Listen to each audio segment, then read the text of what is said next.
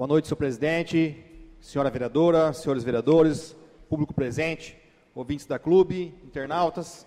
Um prazer mais uma vez falar com vocês e trazer coisas boas, né, Cristal? Para que a população de Tanabi possa viver momentos felizes, né? Então vamos lá. É, só para deixar registrado aqui na casa, que no último dia 4 do mês passado, 4 do 9, a prefeitura recebeu, Cristal, 233.050 reais de uma emenda parlamentar, 50% de uma emenda que, a pedido meu, o deputado Tanabiense Rodrigo Garcia, para que seja é, feito um anexo ao CRAS. Já a prefeitura já fez o projeto, metade desse dinheiro já está na conta da prefeitura municipal e acredito que logo, logo estará dando é, início a essa obra também, no valor de 466 mil reais, quase meio milhão de reais. Então, gostaria de deixar registrado e vou trazer para os senhores maiores detalhes dessa obra é, assim que iniciar. Também gostaria de falar a respeito é, de um assunto que foi feito, foi tema da semana passada, dos pontos de ônibus, inclusive o vereador Rodrigo Bechara, vereador Cristal, está propondo um projeto de lei aqui na casa para que os novos loteadores possam disponibilizar na sua aprovação do projeto um ponto de ônibus para que a população possa usufruir, usufruir desse benefício. É uma boa, a gente vai discutir também é, no decorrer do projeto, na tramitação do projeto, mas dizer, Cristal, que no início da, da, da sessão aqui, logo no início, o vereador Rodrigo Bechara me procurou, dizendo que falou com o prefeito Norair, parece que hoje, né, Rodrigo? E levou conhecimento do prefeito a respeito daquele debate que nós tivemos a respeito dos pontos de ônibus, das parcerias público-privada, que é de autoria do vereador Xandão, a respeito do adote um ponto de ônibus, e do Pardal, vereador Pardal também.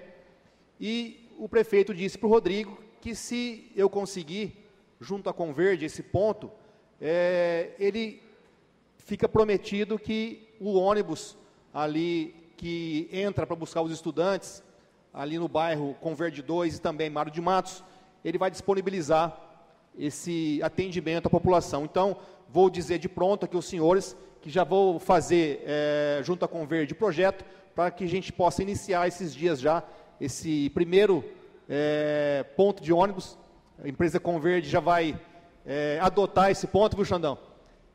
Esse projeto seu já foi publicado esse final de semana e a empresa Converge, no qual eu faço a venda dos lotes, já vai adotar o primeiro ponto de ônibus aqui na cidade. Então, os moradores do bairro Converde 2 e também Mário de Matos vai receber esse benefício do seu projeto. Também gostaria de, de falar aqui a respeito do concurso público. Pedir que devinha pegar para mim aqui, em cima da minha mesa.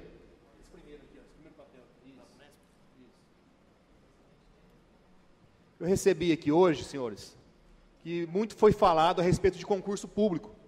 E quando fala de concurso, Rose, sempre tem uma pulga atrás da orelha da população. Porque na maioria deles, é claro que tem pessoas boas, empresas boas, mas a maioria deles causa estranheza, causa é, outras interpretações. E a gente tem aqui hoje, até vou mostrar para os senhores, alguns vereadores já, já deram uma olhada, e quem vai fazer o nosso concurso público, Rose, é a VUNESP. Eu vou dizer algumas entidades que eles fazem concurso, só para a população ver a diferença da Câmara Municipal. É, essa aqui é a proposta do concurso público, né, da VUNESP. E eu vou passar para os senhores aqui as entidades que é feito o concurso público. CREA de São Paulo, DETRAN de São Paulo, FAPESP de São Paulo, Fundação Casa, IANSP, Ministério Público do Estado de São Paulo, Ministério Público do Estado do Espírito Santo, Polícia Civil do Estado do Ceará, Prefeitura Municipal de Guarulhos, Prefeitura Municipal de São Carlos, Prefeitura Municipal de São Paulo, Prefeitura Municipal de Sorocaba, Poder Judiciário do Rio de Janeiro, Tribunal de Justiça de São Paulo, Unicamp, Poder Judiciário, Tribunal de Justiça Militar.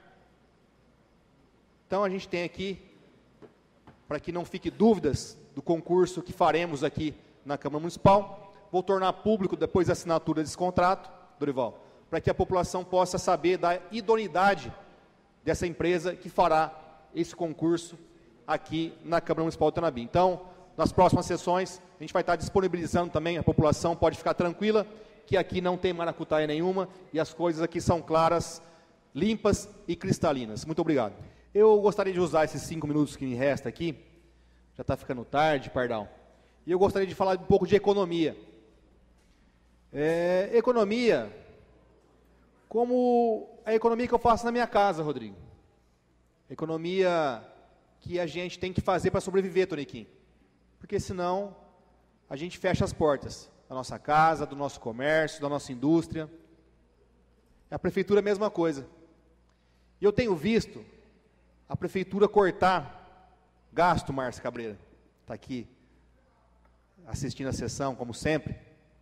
Cortar gasto com copo, com papel higiênico, com caneta, com papel A4. E cortar na carne não corta não corta com o enteado do prefeito, não corta gasto com o secretário de Serviços Gerais. Porque, Rodrigo, eu vou te falar uma coisa. Não precisa de secretário de Serviços Gerais. Sabe por quê? Porque o Valdirzinho é competente. O Valdirzinho conhece a cidade como a palma da mão. O Valdirzinho, há mais de 30 anos, que toca o barracão.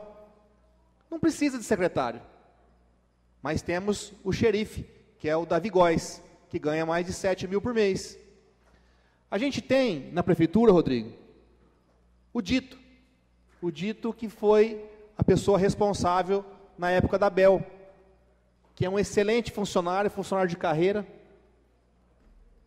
Excelente funcionário de carreira e não precisa ter o secretário de finanças, que é o enteado do prefeito Noraer, que é uma pessoa boa, uma pessoa correta, mas não precisa. Pode economizar mais sete, fora os encargos. A gente tem alguns outros cargos, inclusive eu vou pedir que a população possa vir na sessão de segunda-feira, que eu vou colocar em votação os cargos da Prefeitura Municipal, Canela. Na próxima segunda. Inclusive eu vou no rádio amanhã ou na quarta-feira, para trazer aqui para a população assistir pelo Facebook, pela Rádio Clube Tanabi, a votação dos cargos, né, Pardal? Que é muito aguardada, para saber se os vereadores querem fazer economia com dinheiro público ou não. Então está muito fácil resolver essas questões, é, onde a prefeitura, vou pegar até um gancho do vereador Xandão, que o vereador Xandão tem que, falou que a gente tem que unir com o prefeito. A gente vai unir sim, Xandão trazer ideias, como o senhor disse aqui. São ideias de cortar gasto. Agora, cortar gasto com caneta, com papel higiênico, com material de limpeza, Gilbertinho, com água mineral, não economiza nada. Então, vou trazer aqui à tona, e a população vai ficar sabendo pelas redes sociais essa semana, pela Rádio Clube de Tanabi, vai trazer a solução do problema agora do final do ano, para o prefeito Norair poder dar uma enxugada nesses cargos e aonde vai poder sobrar um pouco de dinheiro para investir na administração municipal. Então tem seis cargos que sobraram de um projeto que é o projeto, o primeiro projeto que veio em janeiro, que foi de criação de 13 cargos, e agora restou seis, tenente. Vamos votar na próxima segunda-feira e vamos trazer a população de Tanabi para poder acompanhar cada vereador e saber se o vereador está do lado do povo ou se o vereador está do lado da gastança de dinheiro público. Então, espero trazer aos senhores, durante a semana, mais informações a respeito desse grande projeto que vai trazer benefício para a população de Tanabi, economizando, não vai faltar água, não vai faltar remédio, não vai faltar asfalto, não vai faltar nada. Então, na próxima segunda-feira, traremos aqui na Casa de Leis, na Casa do Povo. Muito obrigado, fiquem com Deus e até uma próxima oportunidade.